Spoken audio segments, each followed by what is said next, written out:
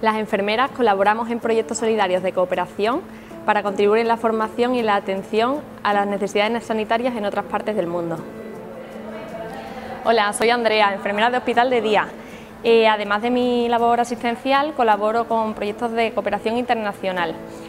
Em, en el año 2022 tuve la oportunidad de, de, ir a Angola con la ONG, la Fundación Espinola Solidaria, donde pude conocer de cerca la situación de, de una escuela y de un centro de salud. El centro de salud se llamaba Santa Teresa y se encontraba en el barrio de Palanca, en Luanda.